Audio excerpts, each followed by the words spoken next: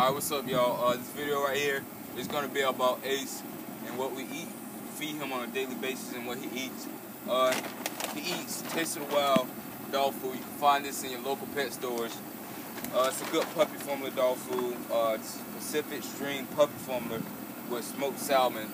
He, eats some smoked salmon, some fish. It has some highly great protein in it, and it shines, helps shine the coat too. He has a nice coat on him. And then we mix it up with his um, pedigree Wait. canned food. So he eating the chopped beef. We mixed that up with some of his uh, Taste of Wild food. And this is what Ace gonna be eating right now. So hope y'all like this video. Ace, go ahead eat. Go ahead eat your dog food.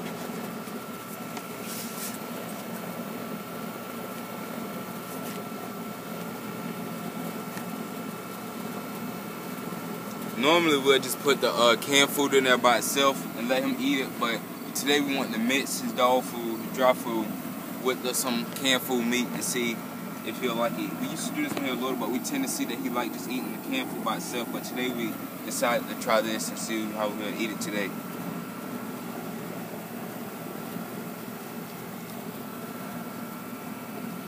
He like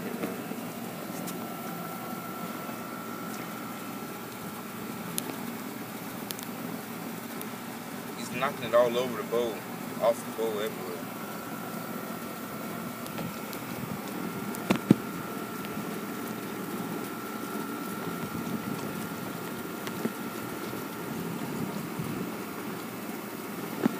Well, that's gonna be it for this video, guys. It's just gonna be sitting here finishing this dog food.